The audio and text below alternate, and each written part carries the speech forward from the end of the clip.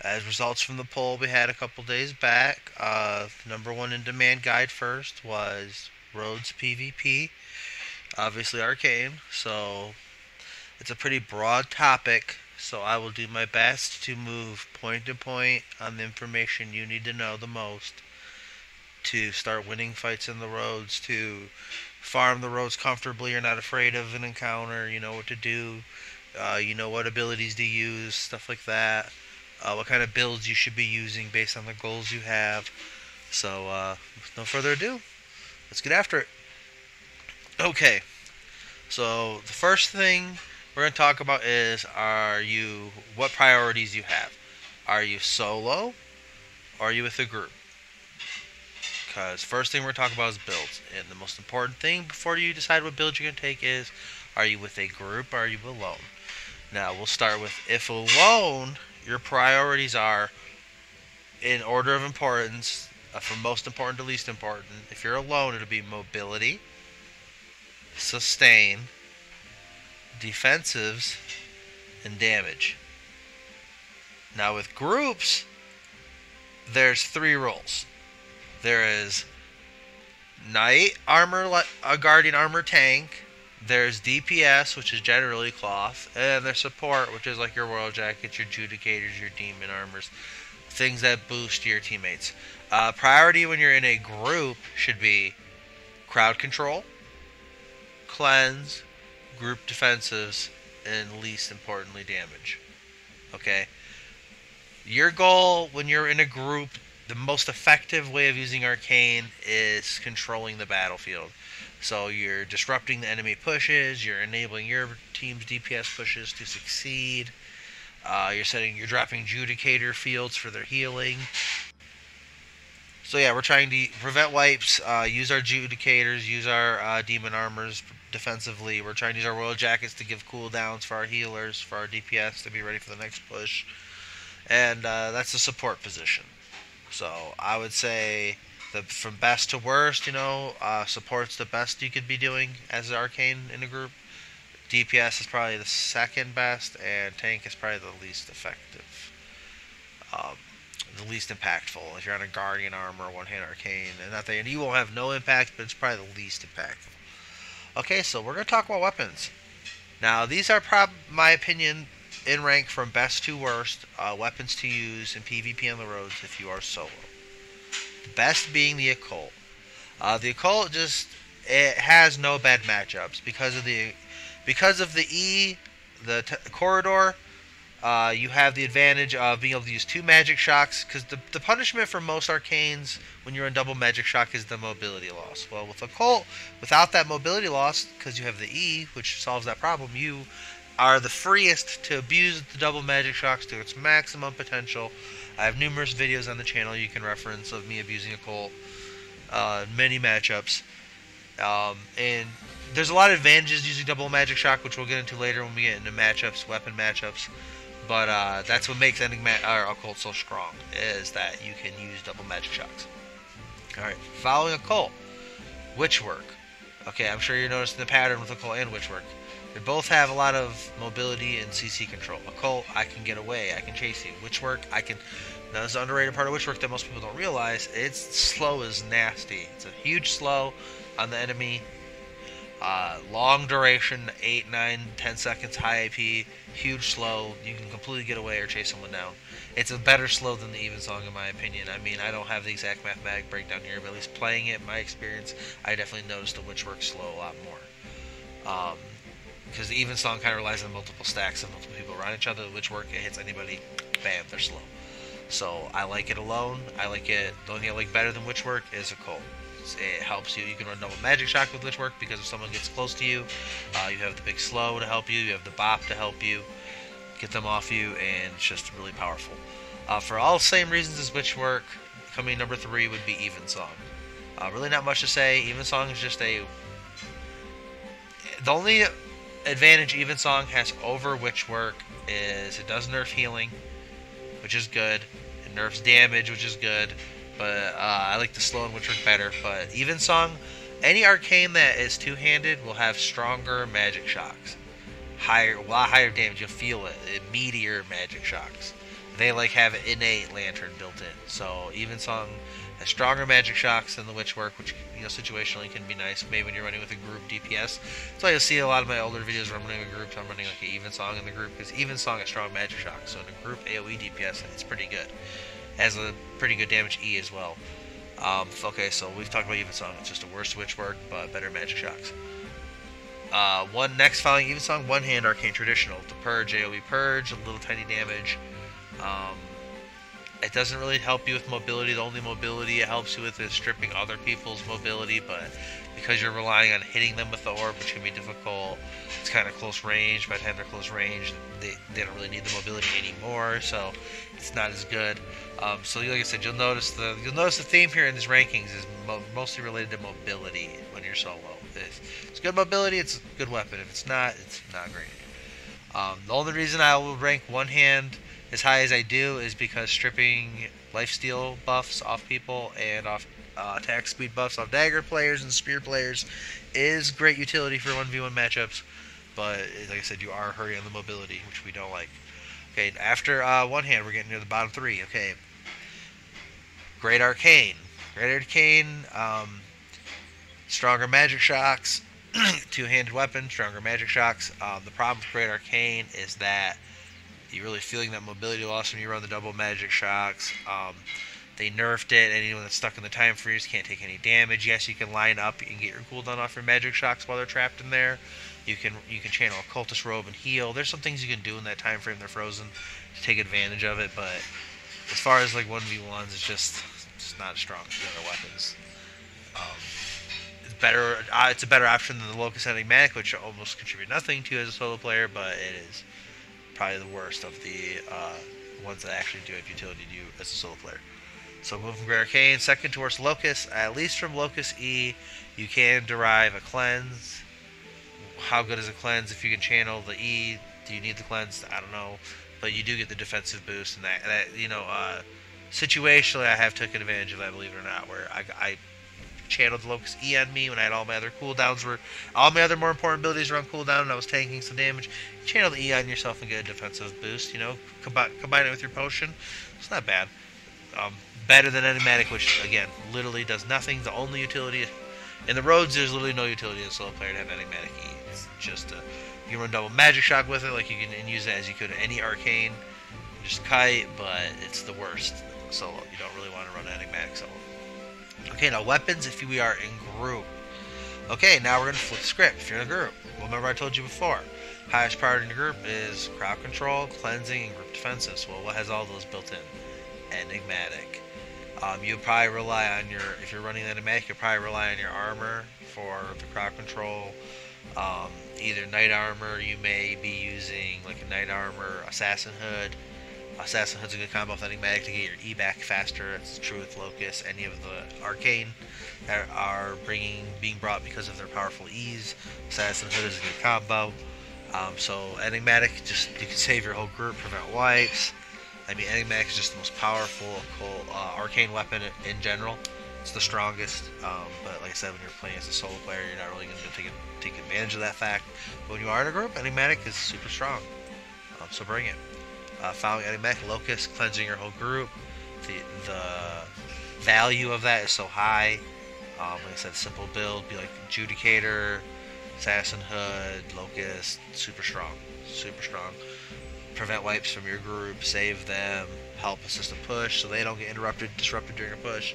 The utility is off the charts. So, uh, Locust would definitely be the number two best arcane weapon in the group. Occult, I would now number three. I'd say Occult over Evensong, over one hand, over which Witchwork, over great. Yes, because the ability to get in and out, you'll save people that are low. They can run back, get healed up. You'll save a lot of. You have a lot of opportunities to save people, um, and also just uh, sometimes like the surgical strike right off bat is hitting the enemy hard. You just win right off the bat. Like you'll just win, win your first push. enemy's not prepared. You occult in, you get in faster than they're ready for. You wipe them, battle's over. So occult has a lot of utility in the group that reason it's number three weapon for Roads PvP if you're in a group. Alright, number four, Evensong. Evensong is number four. Um, I like the occult better because the occult does have, I feel like it's a little higher impact. Um, Evensong maybe before the nerfs, I would say would be better than the Occult, but you know the nerfs have been so massive now, only three stacks a lot at a time. Um, it's still very powerful. They're good if you can if you can land. Make sure you get your max stacks value. It's good, but uh, that you know in the middle of battle trying to you know sync up your E to make sure you're getting three people that are going to be near each other. It's just a lot to think about. It can be confusing, but if you do it, it's powerful. So for that reason, it is number four. But uh, it can be a little more difficult to pull off. More trouble than it's worth sometimes. All right, number five, one hand purges, purge, purge, purge, purge, silence, purge. Double magic shock a healer. You purge him afterwards. He silenced for like six, seven, eight seconds. Very powerful. Good group weapon. Uh, stripping enemies. You really disrupt a push that way. Everyone's running in with their royal shoes. They're buffed to, to drop their damage in the DPS push. You can send that E from the one hand from far away and strip their buffs and really lower the DPS of the push. So one hand is number five for group PvP. Witch work, um, really not much to contribute to a group uh, as support. The only really viable role for witch work in a group DPS. Um, there are some builds like Royal Jacket, cloth builds where you suck them into a hole. Caerleon Cape, triple magic shock. You get a good slow, good clap. I mean, there is builds that are viable like that, but that's pretty high difficulty. It's a lot of difficulty. It's hard to pull off the combos, and when you do, it's only a so-so clap. So honestly, it's gonna have to be the second to worst for group PvP, and only viable spot for witch work in a group will usually be a DPS role. Okay, worst, Great Arcane. Whoa, whoa, what am I saying, Great Arcane? Well, you can coordinate Great Arcane for claps. I've seen it on YouTube. Yes, you can, but it's very high difficulty. Usually it's two players that have been playing together a long time in Discord, really highly coordinated. For average draw, you're never going to be taking advantage of a Great Arcane group. If anything, you're going to drop it, time freeze people, rest your group are going to drop their damage on someone who's frozen, do no damage, get griefed all their, ruin their damage, jack everything up. It's just uh, most groups don't know how to take advantage of it. Uh, for that reason, Great Arcane is the worst run with a group. It, is, it has potential to be higher than worst.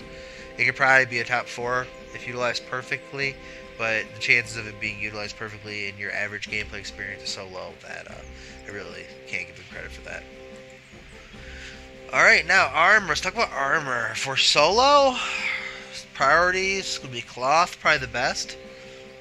Uh, leather is probably the medium middle ground. Plate being the worst. Now, why, why, why? Okay, simply, very simple. Cloth. Uh, Arcane already has some DPS issues. It's not a very high DPS weapon. Um, you gotta outplay the opponent, so we need all the damage we can get. So cloth is the most appealing option. Um, you know, I even take it as far as running Muisaks, uh, lanterns for more damage. Just feels better when you're hitting hard and then you feel like you're more like it feels more competitive when you're fighting the more meta weapons, one v one or in group. So solo, we're gonna go cloth first, high, best uh, armor type for the damage, just for the damage. That simple. Um, next would be leather, same reason. It's got less damage than cloth, so it's less appealing than cloth. Um, solo, there is you know some builds of solo arcane where you're running like assassin jacket. It's the highest DPS jacket, leather jacket. Uh, you get the firestorm or the invis, and you're running like all cooldown passives. Cooldown passives are okay for arcane, but generally, you're, you're just it's the you get so little cooldown off of it, you just don't feel it when you're fighting the difference like you do the damage. So leathers, like I said, leather's a good backup option if you don't have spec and cloth or you don't want a spec cloth, but cloth is better. Plate, it's the worst. Plate's tanky, yes. Um, if you're solo, though, plate's really only good for group play. You're either going to lower damage of the enemy, control the fight, or support. So as far as solo goes, all just the damage is too low in plate. Only alter, you know, the only exception to that may be like if you're running a soldier armor, well executed, use your ability well, uh, use your R well, and then you, you running Muisak Lantern, a little more damage. But even that is going to be low DPS comparatively to the leather or cloth. So for that reason, play is the worst solo armor type. Okay. Now if you're in group, it's a little different. I would say the best for group is plate. Demon armor, Judicator, Guardian armor, Knight armor. These are the best support. Um, Royal Jacket, it's not a plate, but that's with those that group. Um, just support, support, disruptive, uh, that's the kind of stuff you want for your uh, group PvP. So plate would be the best. Uh, second best being cloth. Why DPS? If you're not going to be a support or tank, you want to be a DPS. So because other than the Royal Jacket support, there's really no leather that makes sense in the context of group PvP. So cloth would be second best for DPS, plate would be best for tank support, leather being the worst um, because it provides none of those things. They just get either boost buffs to themselves that you really can't take advantage of as arcane, or they get defensives that there's better options. Okay, so that being said, we'll talk about food. All right, as far as food goes, as when you're in a group, it's pretty dang simple. Omelet for cast speed and cooldown. Almost Magic Shock and Energy Bolt both benefit from cast speed reduction, so Omelet's pretty much the go-to.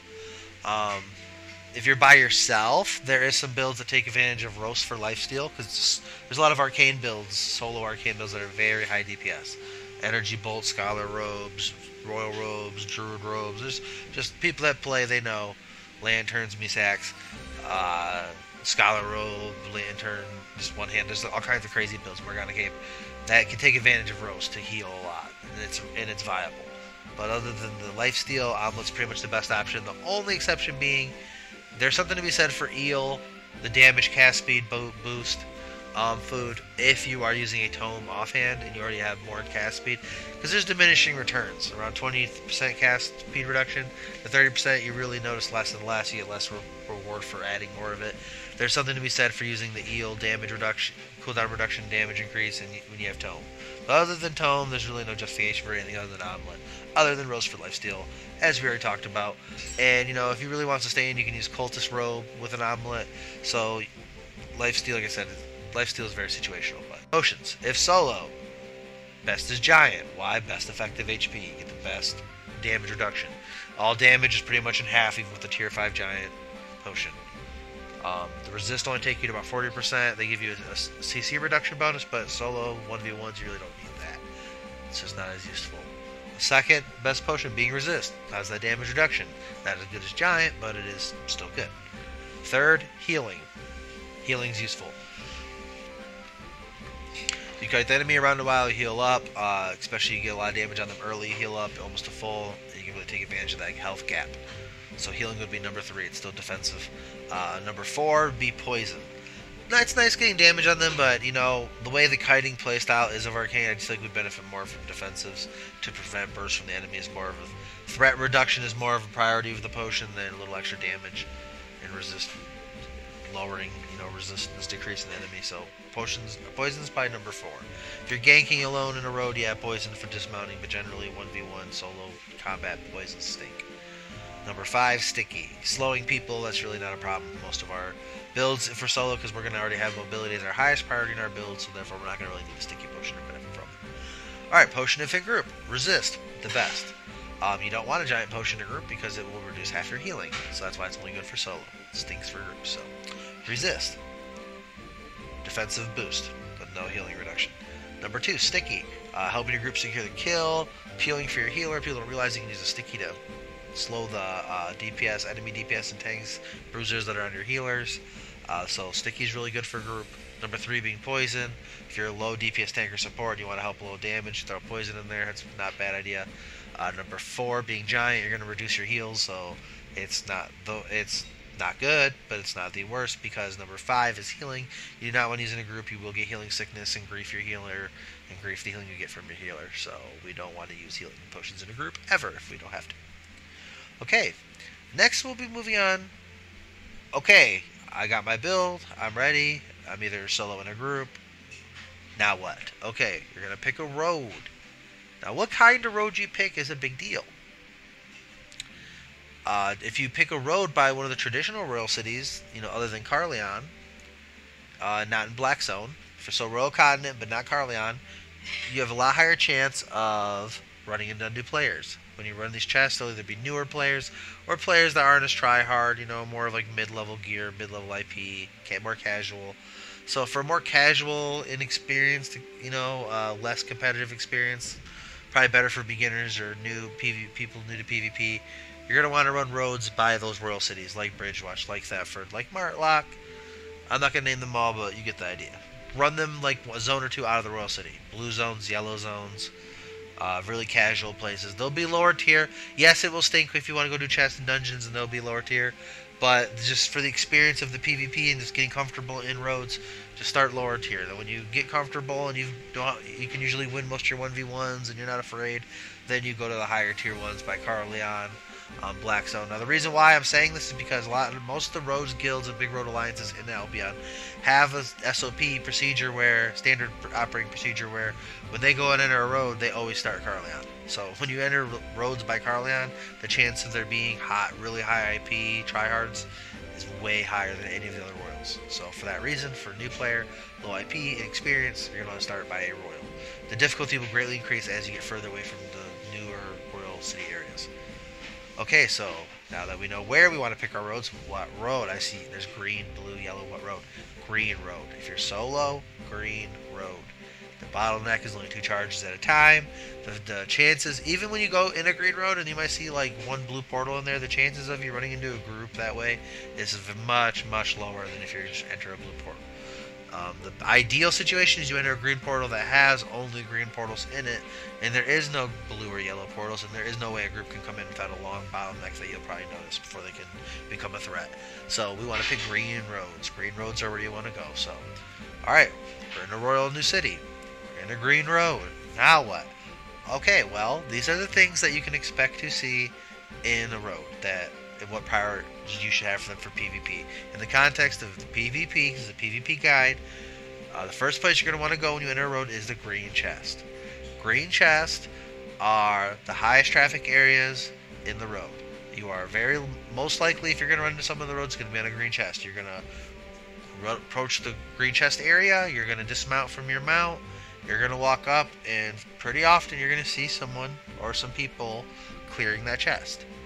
So, okay, that's where we're going to go first. Green chest. After you've checked the green chest, then you check the blue chest. Those are group chests. Green chests are solo content for one two players, and blue chests are for group content now. But a lot of solo players solo this blue chest, the group content chest. So they're definitely worth checking. They're the second most common area.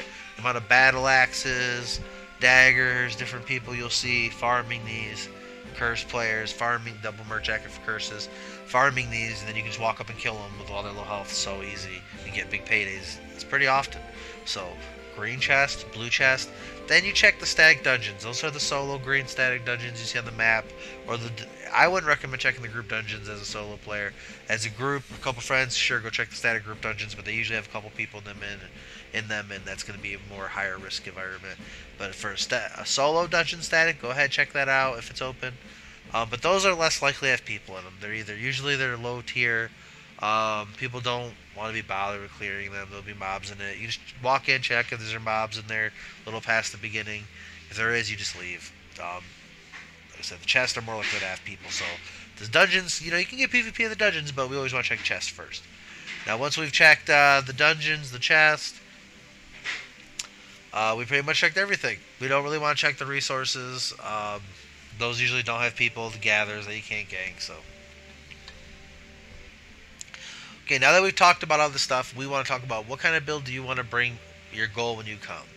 Now, do you want to have, there's builds that are all PvP. They're all in on PvP, and they're really not realistic or reasonable to solo the green chest or the blue chest or the dungeons because they either have mana problems, DPS problems, because the builds that are good against people are very different from the builds that are good against mobs.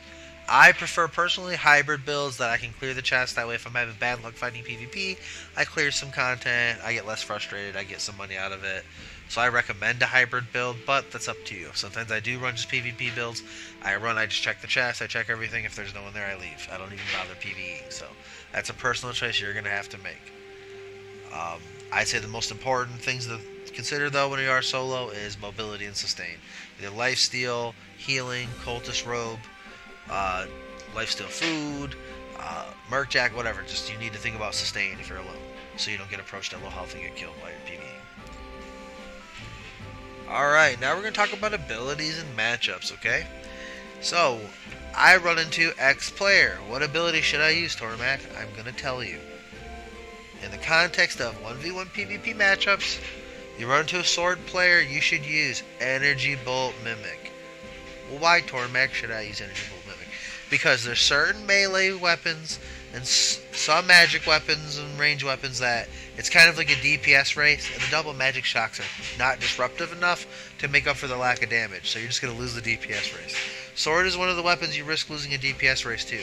So to ensure we win the DPS race, we're going to use Energy Bolt, Aggressive Caster passive, and we're going to use Mimic Magic Shocks from a distance and disruptively up close to stack extra damage. But we're going to rely on Energy Bolts when they come in close. Uh, Axe, you encounter an Axe player, same strategy. Energy Bolt, Magic Shocks. You're going to try to stack as much Magic Shock damage as you can from afar. Uh, before they get near you, you you know you abuse a force field bop or some other ability to get keep your distance. Then when they close the distance in to put damage on you, you start energy bolt, aggressive caster, and you just burn them down. You will win that DPS race. Trust me. Okay, bow, bow. They you don't want to fight a bow with energy bolt. So bow is just double magic shocks, and you really want to abuse distance. You don't want them to be able to auto attack you, click you at all. You want to just abuse that maximum range and kiting because they're multi shots, and you their multi shots will interrupt your energy bolts, and they also can just win the DPS race in a man fight. So we don't want a man fight. Then we just want a double magic shot kite. So against bows, double magic shock. Crossbow, double magic shock. Super simple matchup. You can interrupt everything they want to do. Very easy fight. Always double magic shocks to interrupt their E, their Q, their W. They can't do anything. You'll completely crush. You've seen videos on the channel. I'm 1v2ing, 1v3ing crossbows, crushing them. Very easy matchup. Okay, enough said. Fire staff, very similar to crossbow. All their abilities are channeled, have cast time, so double magic shock makes it so they can't do anything. You will shit on them. Same with frost staff, same fire staff. Double magic shock, interrupt everything they want to do. Um, easy 1v1 matchup, almost impossible to lose. Okay, daggers. Now this is very important. Listen, for all daggers, if they are invis, so if they're death givers or they have assassin hood, invis built in their Hellion shoes, is invis built into their build, double magic shock. Because you can magic shock someone who's invis and magic shock someone who's about to come out of invis and silence them and then get some distance. Magic shock is very good against invis builds. So if they have invis, double magic shocks. If they don't have invis and there's like a bloodletter with a Hellion, bloodletter with a cleric, one hand dagger, energy bolt, uh, mimic for similar reason as axe and sword. When they come close the distance, you just burn them with aggressive caster energy bolt. Easy matchup. Okay, so enough said. Invis, double magic shock, no invis, or a bloodletter, energy bolt, magic shock. Curse, energy bolt, magic shock. You simply will lose the DPS race with double magic shock. Unless you can keep your distance the entire time, which against a competent curse player you won't. So you will just lose the DPS race. So I highly recommend energy bolt, magic shock. Um, while they're stacking their stacks, you're just burning them with aggressive caster, and you usually will win that DPS race. Instead of them trying to chase you, you'll be chasing them. so I like that change up of dynamic. So for curse, energy bolt, magic shock. Uh, hammer, double magic shot kite, very simple. Double magic shot kite. Um, you could also run cleanse energy bolt because hammers are low DPS, and the cleanse is very beneficial. Um, but that's a little riskier, a little more higher difficulty. So just double magic shot kiting, you can beat almost all hammers. Uh, quarterstaff, energy bolt cleanse. Interrupt their stuns with the cleanse. Energy bolt, you allow just out. There's really no quarterstaff other than a demon cape, Grail Seeker combo that will allow DPS you, even just your energy bolts. So as long as you run cleric hood, sterling cape, and we have cleanse built into this already, uh, so you don't get one-shotted by that. The Grail Seeker, any other quarterstaff should be easy to deal with. Just energy bolt, aggressive caster. You'll win that DPS race. You have cleanse for kiting or chasing them, cleansing their stuns or chasing them down, and uh, quarterstaff's easy matchup. Mace, double magic shot kiting. It's similar to hammer. Uh, mace is uh, because of the iframe on one-handed mace. It can be a hard matchup because during the iframe you can waste your bop, and they can land their E and then do a Caerleon Cape double Q, threatening swing. So they can be they can burst you down. It's a mace is probably the hardest matchup for Arcane. So any really difficult, if you're ever having a matchup that's really difficult, I just recommend doing max kiting. Just get a horn, get refreshing sprint, get double magic shock, and just kite from across the screen.